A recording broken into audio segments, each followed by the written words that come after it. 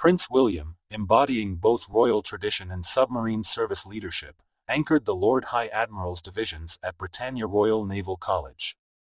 His dual roles resonated through the ceremony, inspiring future sailors and solidifying the Navy's enduring legacy. Channeling history in his greatcoat, cap, and sword, he represented the king, witnessed the cadets march past, and offered his own words of encouragement. Beyond official duties, he connected with the young men and women, leaving a lasting impression as they prepared to serve at sea.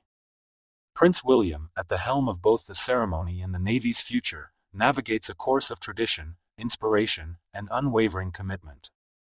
Big congrats to all the awesome young officers on rocking their passing out parade. Your hard work and dedication.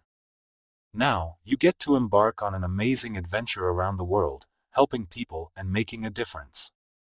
Remember to keep those chins up, stay strong, and always be ready to serve with pride.